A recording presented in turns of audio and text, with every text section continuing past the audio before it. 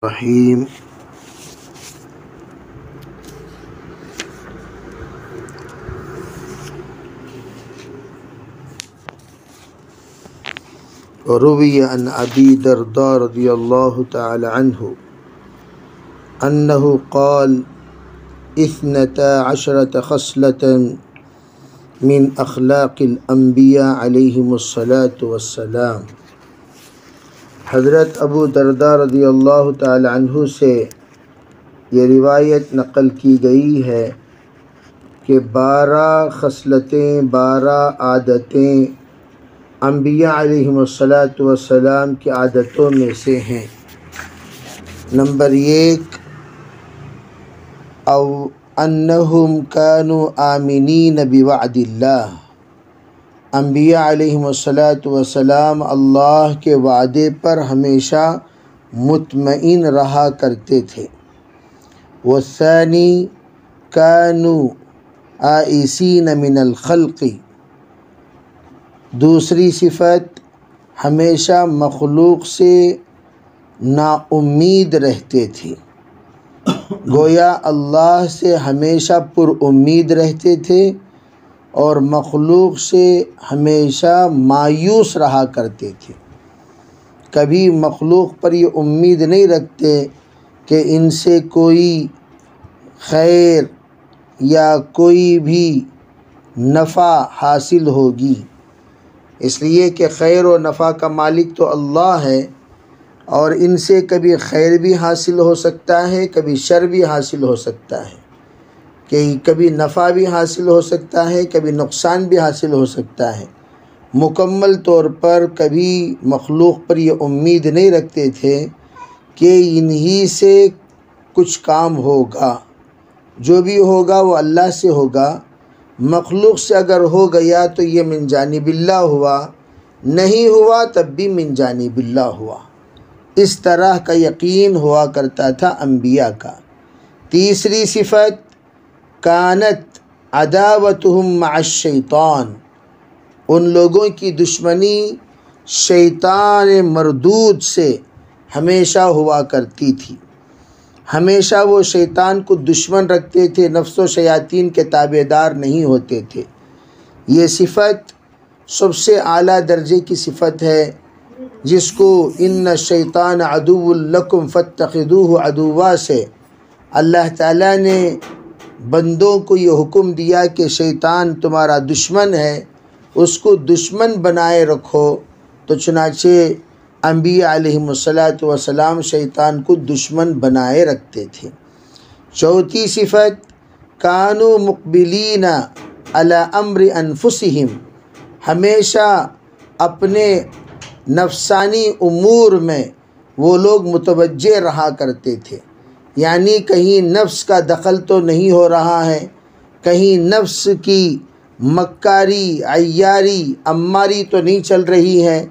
इस बात की तरफ़ अम्बिया वसलाम हमेशा निगरानी रखते थे ख़ुद अपनी ज़ात की। पाँचवीं सिफत फरमाया, कानू मुशफ़िन अलखल्क़ी हमेशा अपने मखलूक पर शफ़क़त और रहमत वाला ताल्लुक़ हुआ करता था। इनका जो रिश्ता था, वो शफ़क़त और मोहब्बत, रहमत वाला रिश्ता रहा करता था मखलूक़ के साथ। मखलूक़ के साथ कभी जुल्म, किसी भी तरह की बेशफ़क़ती किसी किसी भी तरह की जहमती वाला ताल्लुक़ नहीं होता था। हमेशा रहमत, हमेशा शफ़क़त, हमेशा मवद्दत से रहा करते थे। छठवीं सिफत जो बताई गई, कानू मुहतमिलीन ली अदन जमील खल्क़ी। ली अदा जमील खल्क़ी, फरमाया वो, तमाम मखलूक की तकलीफ़ों को बर्दाश्त करने वाले होते थे। मुहतमिलीन, बर्दाश्त करने वाले। बर्दाश्त करते थे। तमाम मखलूक की तकलीफ़, जितनी भी मखलूक़ात से तकलीफ़ पहुँच जाए चाहे वो जिन्निया तकलीफ़ हो या इंसिया तकलीफ़ हो या मखलूक़ात के तरफ़ से शहरी तकलीफ़ हो या जादूगरी तकलीफ़ हो तो उन तमाम तकालीफ़ से भी ज़ाहरी व बातिनी हाँ, बाहर दो सूरत वो मुकम्मल तौर पर बर्दाश्त करने वाले होते थे। सातवीं सिफत जो बयान की गई कानू मुकिन बिलजन्ना यकीन रखते थे कि अल्लाह रब्ज़त जो कुछ हम लोग क़ुरबानियाँ दे रहे हैं, जो कुछ अल्लाह के इस दीन की दावत में, अल्लाह की इस दीन की मेहनत में, कोशिश में जो कुछ हम पर हालात आ रहे हैं, इन हालात पर अल्लाह ज़रूर जन्नत देगा। जैसे अनसार सहाबा से जिस वक्त फरमाया गया कि तुम लोग नबी सलाम को मदीना ले जाने को तैयार हो, लेकिन जानते हो ले जाने पर क्या होगा? बताया कि ले जाने पर होगा ये कि पूरी कायनात, अतराफ़ अकनाफ तुम्हारे दुश्मन बन जाएँगे। फरमाया, हुजूर तमाम क़ुरबानियों पर हमें मिलेगा क्या? कहा, अलजन्ना। उस पर अनसार मुतमिन हो गए और कहने लगे फिर तो हम हर तरह की क़ुरबानी के लिए तैयार हैं। इसी को फरमाया कानू मुकिन बिलजन्ना अम्बिया वसलाम जन्नत पर यकीन रखते थे कि यकीनन अल्लाह रब्ज़त हमारा जो आखिरी मंजिल है हमारी मंजिल जन्नत बनाएगा। इसी को हुजूर ने फरमाया अल इन अलमुमिन लशब अलमुमिन हत्ता यकून मुंतहाउलजन्ना ईमान वाला उस वक्त तक, उस वक्त तक मुतमिन नहीं होता जब तक कि उसके आखिरी मंजिल जन्नत ना हो जाए। यानी उस वक्त तक, उस वक्त तक वो कोशा और मेहनती और हर तरह की जफाकशी करता रहता है। आठवीं सिफत बयान की गई, कानू मुतवादीन फ़ी मवादी जितने भी हक़ वाले मकामात हुआ करते थे हक़ के लिए वो मुतवाज़े हो जाया करते थे सर निगू हो जाया करते थे, छोटा बन जाया करते थे। हक़ वाले मकामात पर, यानी हक़ को लोगों के दरमियान फैलाने के लिए, हक़ की दावत के लिए और हक़ के अफशा के लिए और हक़ के हर तरह की कोशिशों के लिए वो लोग मुतवाज़े हो जाया करते थे, छोटा हो जाया करते थे। किसी न किसी तरीके से ये बंदा हक़ कबूल करने वाला बन जाए उसके लिए जितना भी छोटा हो सके हो जाया करते थे। फिर आगे फरमाते हैं आ, जो नवी चीज़ है कानू ला यदऊन नसीहत फ़ी फ़ी अदावा फरमाया दुश्मनी की जगह में कभी खैर खाही का मामला नहीं करते थे। जहाँ पर अदावत जहाँ पर दुश्मनी का अंदेशा हो वहाँ पर खैर खाही नहीं रखते थे। क्या मतलब? भाई, वहाँ जाकर हम अपने आप को, अपने आप को हलाकत में मुबतला करने की जगह पर जाना और अपने आप को हलाकत में डालना, ये गैर हमती काम है। बग़ैर हमत के इस तरह की कोई हरकत नहीं करते थे, बल्कि ये तलाश करते थे मौका दुश्मन के लिए हक वाली बात पहुँचाने का, असहल रास्ता क्या होगा और बेहतरीन रास्ता क्या हो सकता है। उसके तलाश में रहा करते थे। दसवीं चीज़ बताई गई, कान रस अम्वालफ़्र फरमाया, उनकी पूंजी क्या होती थी? उनकी पूंजी फ़क्र फाका है। हमेशा मालदारी को उन्होंने अपने दिलदारी नहीं बनाई। मालदारी की दिलदारी नहीं हुआ करती थी, बल्कि फ़क्र के लिए हमेशा राज़ी रहा करते थे। यानी अल्लाह दे दिया तो अल्हम्दुलिल्लाह नहीं दिया तब भी अल्हम्दुलिल्लाह। मकसद ज़िंदगी काम है मकसद ज़िंदगी दीन है मकसद ज़िंदगी अल्लाह की अमानत को अल्लाह के बंदों के पास पहुँचाना है। उसके लिए जो भी हालात आए अम्बिया वसलाम अपना रसुलमाल फ़क्र को बनाकर आगे बढ़ते थे काम करते थे। चुनाचे हमारे असलाफ के आ, अगर क़ुरबानियों की तरफ़ तवज्जो दें तो हम लोगों को ये बात मिलेगी कि हमारे अकाबिर फ़क्र फ़ाक़े में ही हर काम को शुरू किए और फ़क्र के साथ जीते रहे, फ़क्र के साथ उन्होंने दुनिया से रखसत हो गए। सुनाचे अल्लाह के रसूल इस्लाम का भी इरशाद है अल्लाह महीनी मस्किना व अमितनी मस्किना वहशुरनी फ़ी ज़ुमरतमसाकिन अल्लाह के रसूल सलाम ने यह दुआ के ज़रिए से उम्मत की ये बात बता दी। सुनाचे जिस वक्त में एक सहाबी ने आकर कहा, सरकार, मैं आपसे बहुत मोहब्बत करता हूँ। आपने फरमाया, फिर तो फ़क्र के लिए तैयार हो जाओ। मैं मुझसे मोहब्बत करने वालों की तरफ़ फ़क्र ऐसा दौड़ता हुआ आता है जिस तरह ढलान की तरफ़ पानी। तो इसलिए फ़क्र के लिए हमेशा इस बात के, यानी परेशान नहीं होना चाहिए। एक बुज़ुर्ग कहने लगे, अरे भी फ़क्र के आदि बन जाओ। तो फ़क्र से शिकायत नहीं होगी। आप अगर आदि बन गए, दोस्ती कर लिए, यानी आप यूँ समझिए कि भाई सादा सीधा पहनना ही आपकी आदत है सादा सीधा खाना ही आपकी आदत है, सादी सवारी ही आपकी आदत है, सादा मकान ही आपकी आदत है, जब आप उसके आदि बन जाओगे तो शाकी नहीं बनोगे। जो आदि नहीं बनता, वो शिकायत करने वाला बनता है, और जो आदि बन जाता है, वो शिकायत नहीं करता। तो चुनाचे सहाबा इसके आदि बन गए। इसलिए एक बुज़ुर्ग कहते हैं, हज़रत हज़रत कारी मोहम्मद तैयब साहब रहमत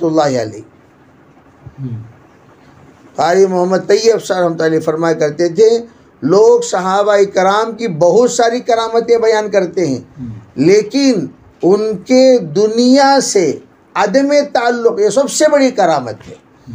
करामतों में सबसे बड़ी करामत यह है साहबा कराम की कि वो लोग दुनिया से बेरगबती, ये इंतहाई विलायत और इंतहाई अल्लाह की क़ुरबत की अलामत है। क्या जो बंदा अल्लाह से करीब होना चाहता है, उसे चाहिए कि वह दुनिया से बेरगबती और दूरी इख्तियार कर ले। ये अलग चीज़ है कि जिस तरह हज़रत अब्दुल कादिर जियानी कुतुब रब्बानी ने फरमाया कि कश्ती पानी पर चले, ये कश्ती के लिए आफियत है। पानी कश्ती के अंदर आ जाए, ये कश्ती के लिए मुसीबत है। इसी तरह इंसान दुनिया में रहे तो दुनिया भर की चीज़ें इस्तेमाल करे, चलता रहे, अपनाता रहे, कोई हर्ज नहीं। लेकिन किसी भी दिल के अंदर ऐसा सुराख पड़ जाना कि दिल की, दिल के अंदर दुनिया घुस जाए, दुनिया आ जाए और दुनिया बस जाए, ये इंतहाई मुसीबत। इसके एक मिसाल देते हैं, जैसे अयूब सलाम शाही ज़िंदगी गुजारे, तब भी मुकम्मल अल्लाह से राज़ी थे।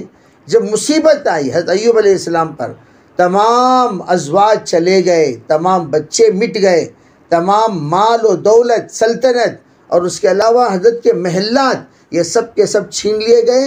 तब भी हज़रत की ज़ुबान से ज़रा बराबर भी शिकवे शिकायत की बात तो दूर की बात तस्वुर भी नहीं आई, या अल्लाह, ये क्या हो गया? राज़ी रहें। इसी को टीपू सुल्तान रहमा हमेशा फरमाया करते थे कज़ाए मौला अजहमा अवला कज़ाए मौला अजहमा अवला इस पर सहा फ़क्र पर राज़ी रहते थे। फिर क्या फरमाया? ग्यारहवीं सिफत। कानू युदीमून अलवज़ू अल्लाह अकबर। हमेशा बावजू रहते थे अम्बिया वसलाम अल्लाह ताला हमें शरीय को भी नसीब फरमाए।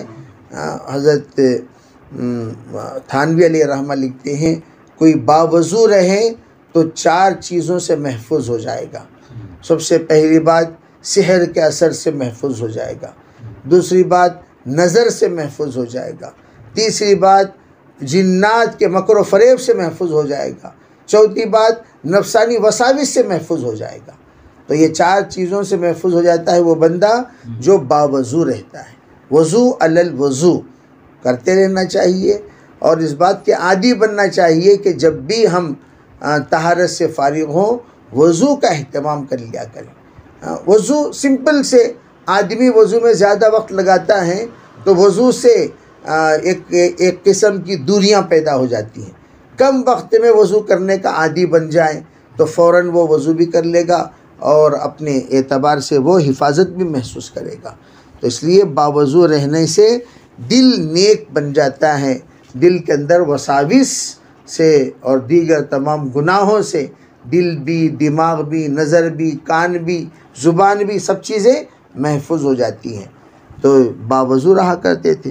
बारहवीं चीज़ फरमाया, कानू ला न बिमा वजदू मिन दुनिया।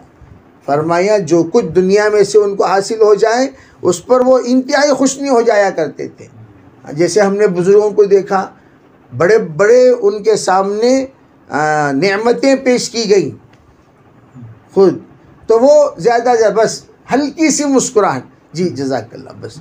इतना खुश, अरे आइए बहुत, इतना ज़्यादा वेलकम नहीं करते थे कि वो अगराज वाला खुश हो जाए। चलो भाई, हज़रत ये देने से बड़े खुश होते हैं तो चलो ये देते रहो, हज़रत से अपनी बात मनवाते रहो, ऐसा नहीं ऐसा नहीं। बल्कि हल्की सी मुस्कुराहट, हल्का सा उनकी उनकी दिल जोई हो जाया करती थी। वे शुक्रिया रख दीजिए। हाँ, ऐसा नहीं कि भाई फ़ौरन उठा लिए दिल से लगा लिए और अपने हद से ज़्यादा खुशी का इजहार किए। ये सब हमारे बड़ों की आदतों में से नहीं है। कितना बड़ा भी बड़ी भी नेमत मिल जाए हल्की सी उसका होता था रख दिया मौलाना इब्राहिम दौला साहब मद्दिल्ली को देखा गया कि जितने हदाए आया करते थे पूरे हदाई एक कोने में जमा कर दिया करते थे आज भी। पूरे एक कोने में जमा कर दिया। एक साहब ने हम लोग मिलने के लिए गए तो एक साहब एक लारी भर के मिठाई भेज दिए। मिठाई जो है भाई एक हद होती है मिठाई भेजने की। वो एक किलो दो किलो पाँच किलो भेजा करते हैं। गाड़ी भर के भेज दिए। हैद ने फरमाया भाई ये ये ये क्या हुआ? वो भी बड़ी कीमती मिठाई। तो हज़रत दामद बरकत हमने मस्जिद में ऐलान किया। अरे भाई पूरे गाँव वाले जितने साथी हैं वो सब के सब जो ही नमाज़ से फारिग हों अपना अपना हदिया लेकर जाएँ। तो हज़रत के ऐलान पर भाई सब सब के लिए मिठाई उमूमी एक एक किलो मिठाई पूरे गाँव वाले में हर मस्जिद में तकसीम हुई। फिर भी मिठाई बच गई। फिर जब हम लोग गए तो हमें भी वो मिठाई में हिस्सा मिला। तो लेकर हम लोग यहाँ भी आए। तो बताने का मंशा है क्या? तो जो वो वो जो कोने में रखते थे हमने ये देखा कि हदिये का माल हदिये में वापस चला जाया करता था। तहादु तहाबू।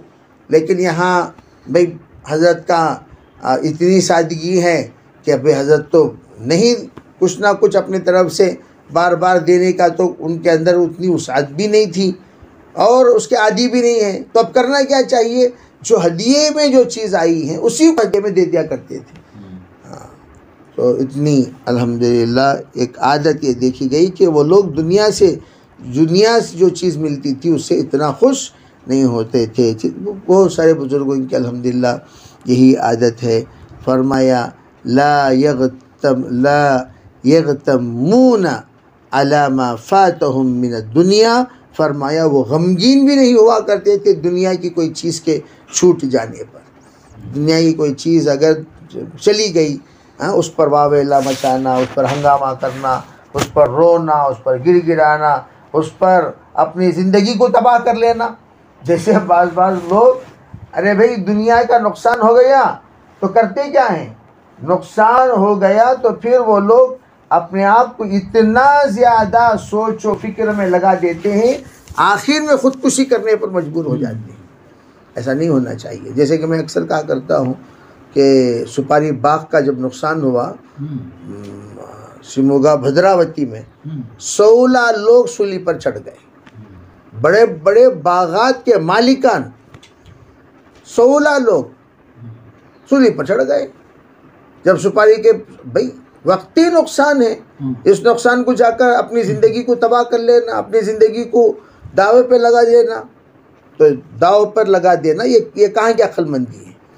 तो इंसान को अल्लाह ने ज़िंदगी दी है ज़िंदगी में ऊंच नीच इसी को ज़िंदगी कहते हैं। तकलीफ़ भी राहत भी आफ़ियत भी मुसीबत भी तो हम लोगों को करना ये चाहिए कि हर एक मुसीबत पर अल्लाह से राज़ी रहे। बल्कि हज़रत शेख़ुल हदीस रहमत तो फरमाते हैं मुसीबत इंसान की तरबियत है।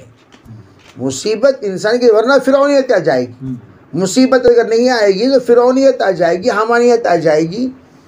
तो मुसीबत इंसान की तरबियत है। तो हम लोग मुसीबत को मुसीबत ना समझें बल्कि क्या समझें? वक्फ़ तरबियत जिसको हज़रत यूसुफ सर हम फरमाया करते थे। साहबा इकराम में सबसे पहले वक्फ़ तरबियत तमाम अम्बिया के साथ। वक्फ़ तरबियत बाद में वक्फ़ राहत। हाँ, पहले हजूर शास्त्र ने क्या फरमाया? ला राहत बादल योम। या खदीजा। बाद में क्या फरमाया? ला कुर्बत बादल योम या फातिमा। जी? तो पहले यूँ कहा गया है कि ला राहत बादल योम। ज़िम्मेदारी मिल गई राहतें ख़त्म हो गई। ज़िम्मेदारी पूरी करो। जिस वक्त वापसी का वक्त आ रहा है तो आप साहब ने फरमाया आज के दिन के बाद कोई तकलीफ़ नहीं है।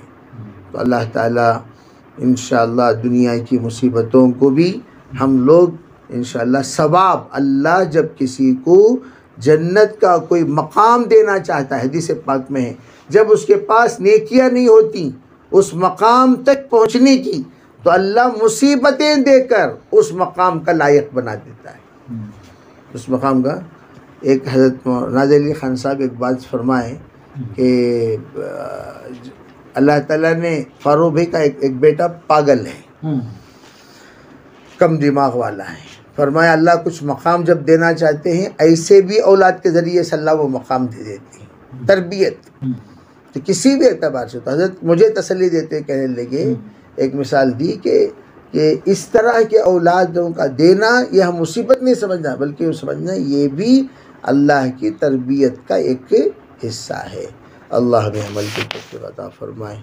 सुबहान अल्लाह बिहमदी सुबहानक अल्लाह